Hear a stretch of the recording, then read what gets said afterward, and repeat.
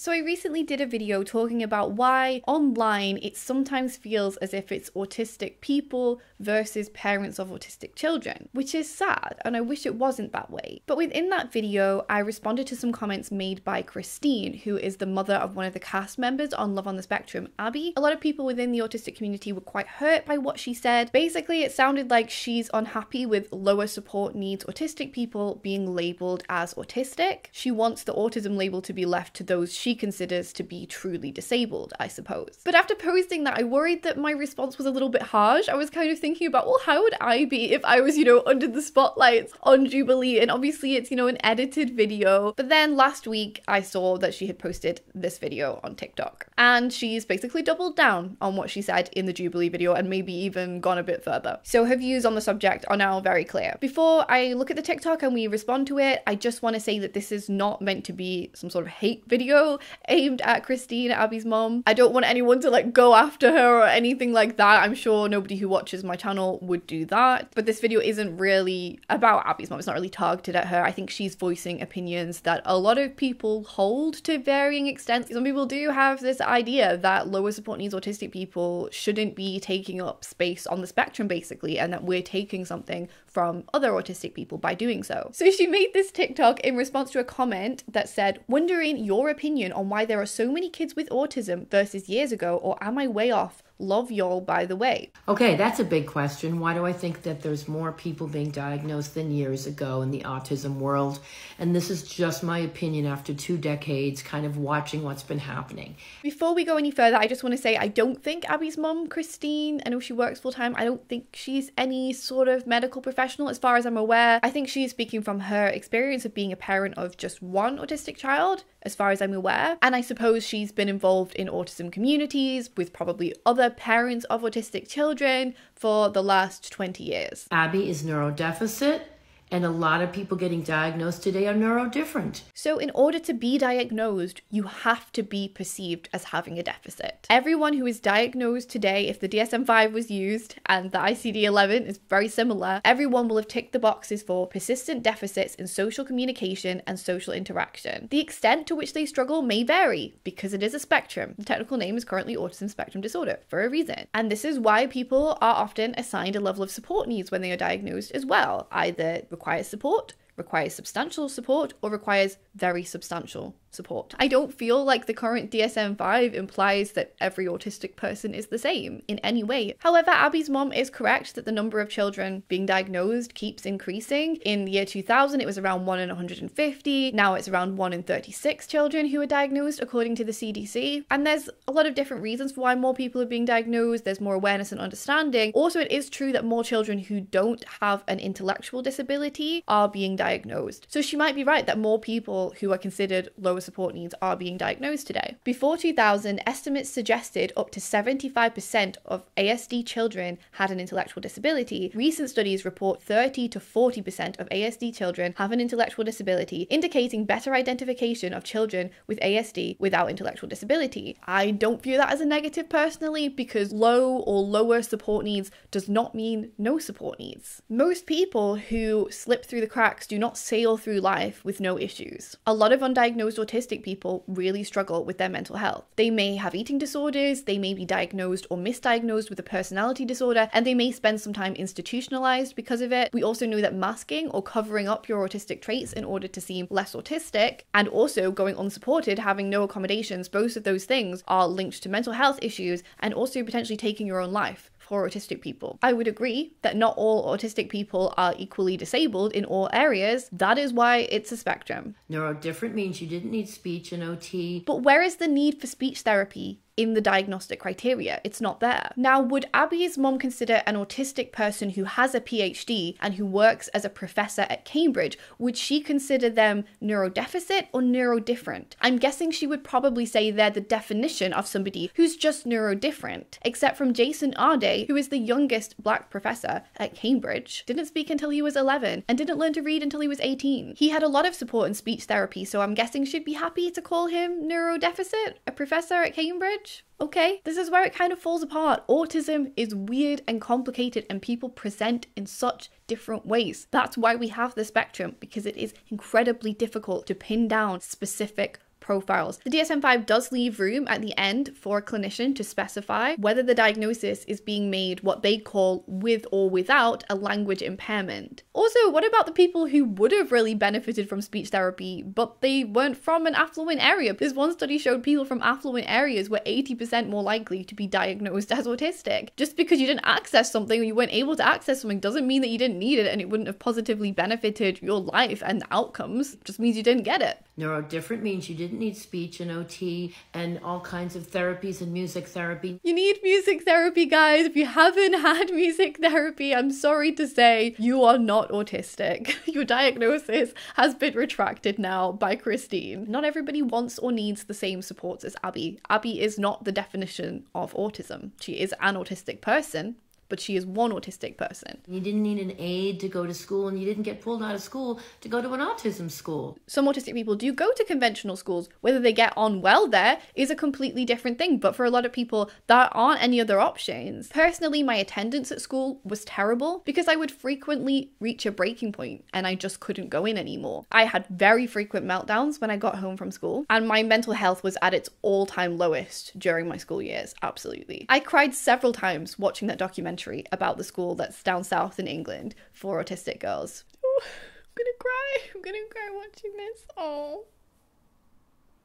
I wish I could have accessed something like that. Yes, I got through school, you can kind of say, without it. I dropped out when I was 17, so I don't know how successful my school experience was compared to my peers, most of whom graduated from university. You actually went to a typical school and you had no support and you were neurodifferent. Just because you managed to get through something without help because you had no other choice doesn't mean that the help wasn't necessary. Once again, as I said in the other video, I'm not trying to equate my experience to Abbey or to any other autistic person. When you've met one autistic person, you've met one autistic person. There are absolutely autistic people who will struggle way more in school than I did. But does that mean we leave everybody else with nothing? Oh, some people have it worse than you, so you get no support. Should we apply that to every other condition? Autism is not an illness, that's not what I'm trying to say here, but imagine if we did apply that to illnesses. Oh, sorry, some people have a worse stage cancer than you, so we're not gonna we're not gonna give you treatment. Like what? That would be ridiculous. That's not really a society that I particularly want to live in. You actually went to a typical school and you had no support you went to school and you had no support, and that was a real shame, actually. And thank goodness more kids are being diagnosed today so the same thing doesn't happen to them. Then maybe they can go on to get the level of education that they deserve. And you were neurodifferent. That means you have a different brain processor. Different brain processor. I think the word she's looking for here is autistic. Super autistic. We have come up with a word for it, a diagnostic label. Again, we don't need to start making up new unscientific labels. And you were neurodifferent. That means you have a different brain processor.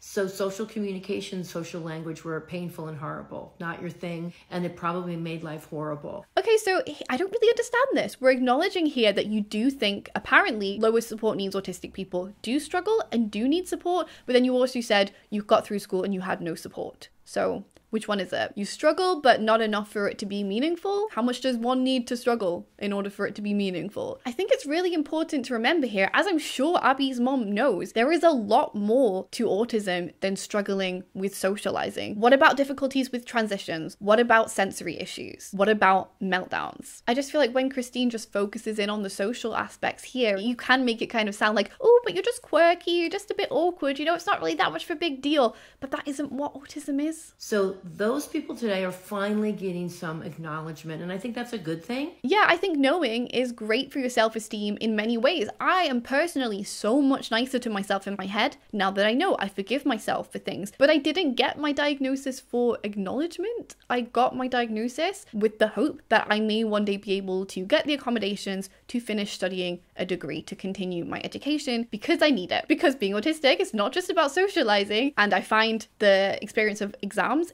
stressful. I had panic attacks in numerous exams, and I become very obsessive with studying around exams to the point where I neglect all of my other needs, and it can become extremely unhealthy. I am not just quirky and awkward. Those people today are finally getting some acknowledgement, and I think that's a good thing, but I look at it as a different thing okay, you might look at it as a different thing, and I know you're saying it's just your opinion, so fine, but your opinion is not really based on anything concrete. Medical professionals would disagree with you because you don't have a deficit, you have a difference. You are neuro different and Abbey and people like Abbey and Abbey's programs were neurodeficit. Another thing that I want to note here is I think a lot of people are unhappy with the way Abbey's mom constantly insists that her daughter in her mid 20s is neurodeficit. Deficit is just not a very nice word, honestly. The definition of deficit is a deficiency or failing, especially in neurological or psychological function, and the word deficiency implies a lack or a shortage or a failure or shortcoming. I personally prefer the word disability. The CDC definition definition for disabled is a disability is any condition of the body or mind that makes it more difficult for the person with the condition to do certain activities and interact with the world around them. I understand that Abbey's mom thinks Abbey struggles more than other autistic people that she's observed. I don't know what Abbey's diagnosis is, what her level of support needs are, or whether she has an intellectual disability. That's what you call it in the US. In the UK, we call the same thing a learning disability, and then learning disability means something else over there.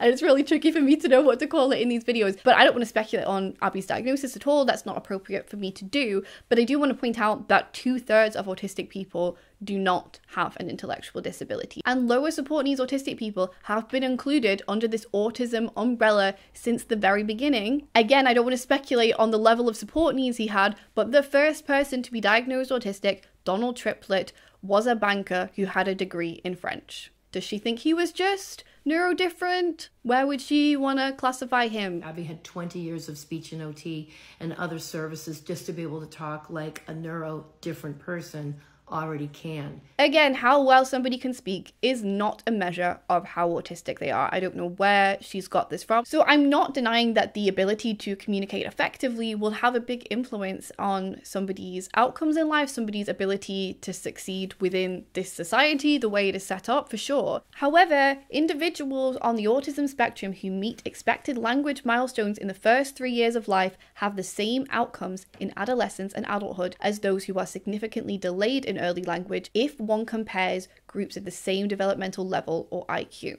So, somebody's ability to speak in their early years does not necessarily influence their life outcomes. I said this already in the last video reacting to Abbey's mom, but I do wonder what parents of autistic children who will probably never speak with no amount of speech therapy, no amount of music therapy, how they might feel when they see clips of Abbey chatting with her mom, clips of Abbey learning to swim, clips of Abbey writing and singing her own music, having a romantic relationship. You know, could they not look at that and go, mm, you see, well, she's just neurodifferent, and actually, my child, they're neurodeficit? What is this competitive aspect? It's really strange. So, the answer is the DSM 5. I think the diagnostic manual the doctors are using needs to be updated and changed, and real specific language needs to be created so that we can honor everybody and get them the help they need. But it's not the same thing. Putting everybody on the autism spectrum to me is not helpful. And this is where I think we come down to the real problem that a lot of parents of autistic children have. We heard a similar thing from Amber, who is the mother of a very high support needs autistic child. She did an interview with Book Angel recently, and I reacted to that on my channel as well. I'm no, going to gatekeep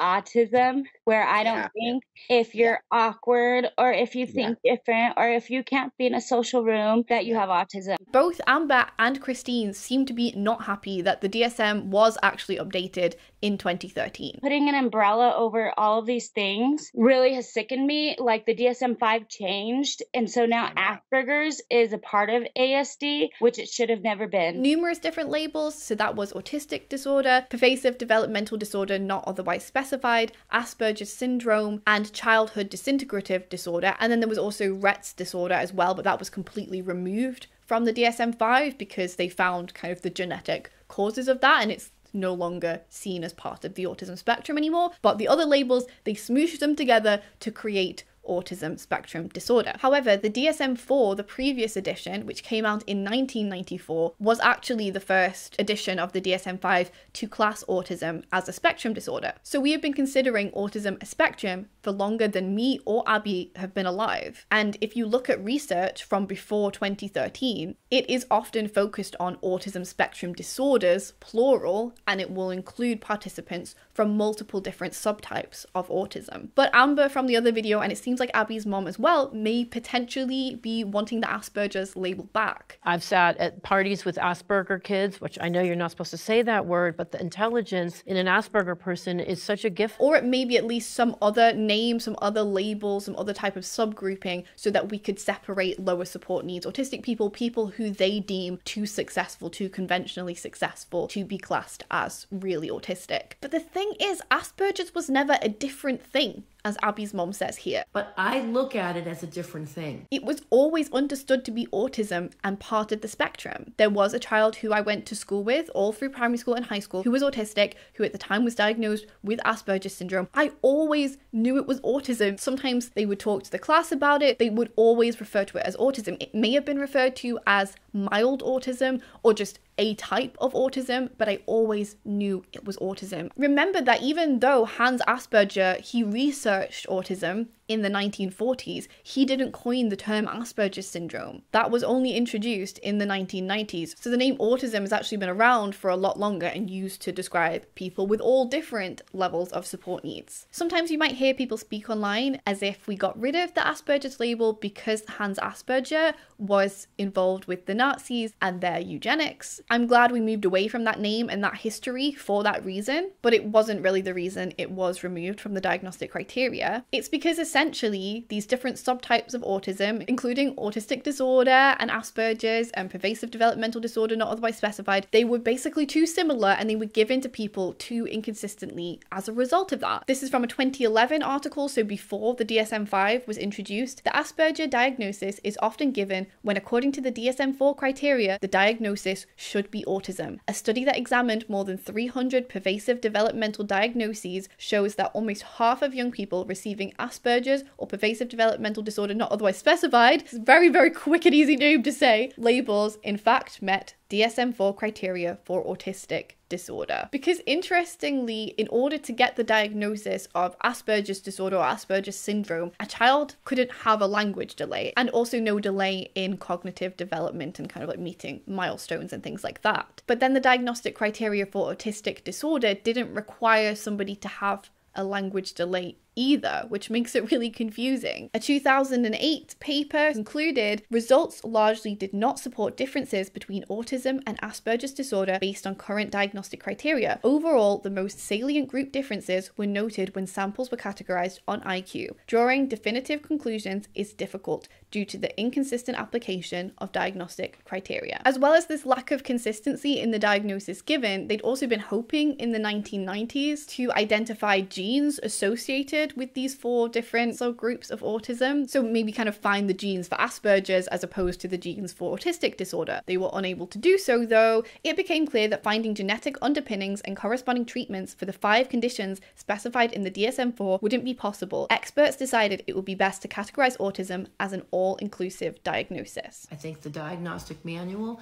the doctors are using needs to be updated and changed, and real specific language needs to be created that specific language would need to be based on something, some real scientific evidence, and we don't have that. We don't have a clear reason for separating people at the moment. There are actually some, particularly parents of autistic children, pushing for the label profound autism to be adopted. This is something that Eileen Lamb is very keen on. She is an autistic woman. She actually works for Autism Speaks. She has two autistic children, one who is lower support needs and one who requires very substantial support. Personally, I would worry about who we would decide would fit into this category and how we would decide that. I also do wonder why specifying that somebody meets the criteria for an intellectual disability and saying that they have very high support needs, they require very substantial support. I do wonder why this doesn't kind of express the same thing. What I do like about the support needs is they are not set in stone, they can fluctuate throughout somebody's lifespan. You know, people are often diagnosed as autistic in childhood. People change a lot between childhood and adulthood, and you can't always predict the ways in which they will change, particularly with autistic people people. Also, again, thinking about this profound autism label, would Abbey meet that? Would Eileen Lamb feel like Abbey has profound autism? So, this is what Eileen Lamb has written about her son. Charlie's struggles are severe and life threatening. Charlie has no sense of danger, which manifests in different ways, like running in front of cars. The most upsetting manifestation is called pica. Pica is an urge to eat inedible items. Several times a minute, Charlie will try to eat something, paint off the walls, wrappers, coins. Recently, a GI surgeon pulled a screw and other items out of Charlie's colon. Not a tiny screw, a long screw. From the description there and from what you see of Abbey, you know, and Love on the Spectrum and TikToks, which are only snapshots, obviously, but it seems like Charlie is very, very different to Abbey. But would you say that Abbey was any less autistic because of that? I think that would be unfair and unproductive and also untrue. I think Abbey is autistic and Charlie is also autistic. Honestly, I don't think Abbey's mom needs to worry. Maybe she just spends a lot of time on TikTok, but out there in the real world, a lot of lower support needs autistic people do find that when they talk to people and they say they're autistic, they're kind of met with, oh, well, you don't look autistic. And then usually people will start speaking about people that they know in their lives who are very high support needs. I think that is most people's impression of autism still. It seems like there would be even less recognition of lower support needs autistic people if it wasn't for having this Asperger's label in the DSM 5 for 19 years. The Asperger's disorder category in the DSM 4 did a great service in raising awareness that some people on the autism spectrum have high IQ and good language. It is time to reintegrate Asperger's syndrome with the rest of the spectrum and to demand the same level of respect and lack of stigma for individuals across the full range of the spectrum. I very much agree with that quote. I think it's a great quote. Maybe one day there will be more specific profiles of autism again. Who knows? But I feel like they would have to be based on something biological. They would have to be reliable. They would have to be applied consistently. I wouldn't want specific diagnostic labels unless they felt very grounded in reality, basically, you know, not neurodifferent. Putting everybody on the autism spectrum to me is not helpful and it's going to make everyone autistic soon and it's diluted the very meaning of the spectrum in the first place. I don't know, I hate this fear mongering of it's going to make everybody autistic soon. It completely invalidates lower support needs autistic people when they then try and go to their employers, to their teachers, and ask for support. If this narrative is being pushed that, oh, everyone's just being diagnosed with these days, do you not see how that could potentially make life a lot harder for us? I do not appreciate people speaking like this at all. The diagnostic criteria is still strict and clear. You have to have what is defined as social deficits in order to be diagnosed. The traits outlined are very similar to previous iterations of the DSM. It does not suddenly say things like, actually, all introverts are autistic. You know, if you've ever looked at the ground once while you're talking to people, you're now autistic. That's how these people speak sometimes. That's not what it is. That's not what it says. I've actually read that some professionals are a little bit concerned that the new classification will narrow the criteria for ASD, thus some patients may no longer meet the criteria for ASD, in particular, cognitively able individuals and individuals diagnosed with Asperger's syndrome and pervasive developmental disorder not otherwise specified. I want to ask Abbey's mom here does she feel like she's autistic? Does she have any urge to go out and get an assessment? Probably not. Most people in my life are not autistic and would not even dream of going to get an assessment. If, as the CDC says, 1 in 36 people are autistic, it's still a minority. Most people are still not autistic and do not meet the diagnostic criteria for autism. As I have mentioned many times though, way back in 1966, we used to think autism prevalence was 4.5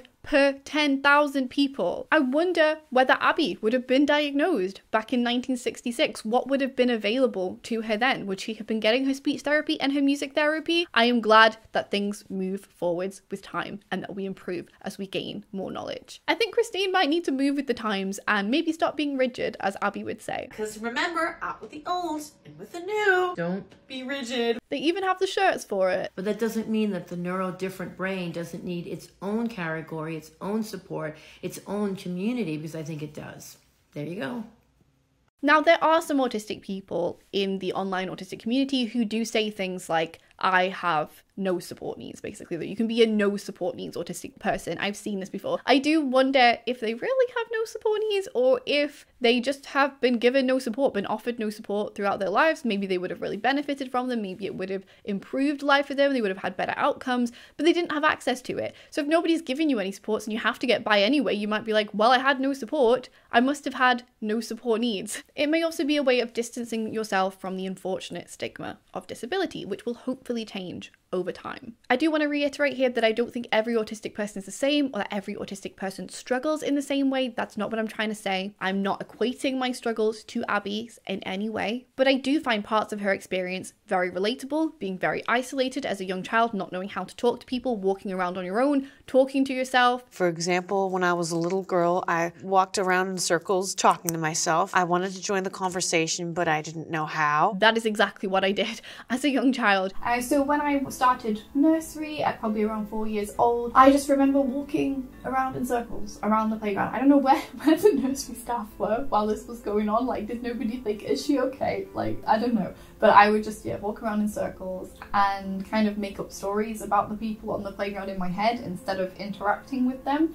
And I don't know, it's difficult. Like, I, am not sure how much I wanted to be interacting with people and how much I was just I, I, I, liked being on my own. I think I was enjoying myself in, in my own head to some extent, but I feel like it's kind of a sad memory. There was an element of sadness to it and loneliness at the same time. I kind of wanted to be on my own, but then I also wanted to be involved, but I didn't know how, and it kind of felt a bit like, oh, everyone else is managing this and everyone else is in there and I don't know how to be in there and at the same time I also don't know how much I want to be in there. I personally really love the theory of monotropism to describe autism. I have a video all about it which you can watch. I think it's a great way to understand it and to explain it to other people. It's the idea that autistic people tend to have kind of very tunnel visioned minds. We have a tendency to in every moment kind of channel our attention, our focus on fewer things but at a higher intensity. So things like socializing are difficult for autistic people because they require splitting our focus between lots of different things at one time, and that's not intuitive for us. This theory really helped me to see how autism could be both a difference and a difference that sometimes leads to amazing strengths,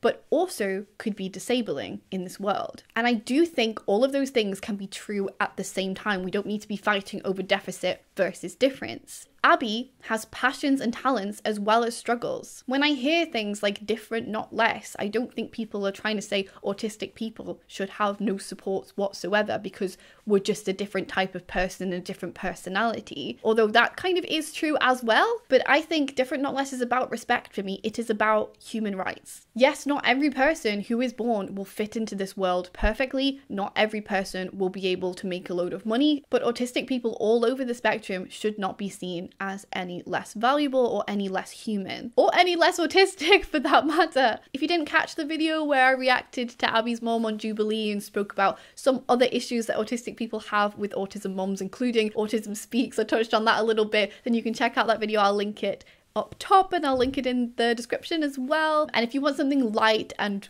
fun and you want to feel part of the autistic community again, not like you're being alienated, I understand. I have a playlist of all the videos I've done just reacting to actually autistic memes, memes made by autistic people, and those are quite fun, so you might want to watch that one. If you would like these videos to keep coming, you can support me over on Patreon. The lowest tier is 4 US dollars a month. The thing that most people are most excited about when they sign up, I think, is joining the Discord server where you can chat to other autistic people and people who are otherwise neurodivergent and people who are considering whether or not they could be autistic. There's no gatekeeping happening there, you know. There's no are you neurodeficit? Are you neurodifferent? You're just you're welcome there. Everybody is welcome. My neurotypical husband is in there a lot and has a lot of fun too. So it's it's a lovely space. And then I also post two exclusive videos there every month and then a bunch of other stuff for the higher tiers as well. But there's loads of hours and hours of stuff on there. At some point I need to count up how many hours we have going on there as well. And there's going to be a load more stuff coming this month. And I think I've said everything I need to say.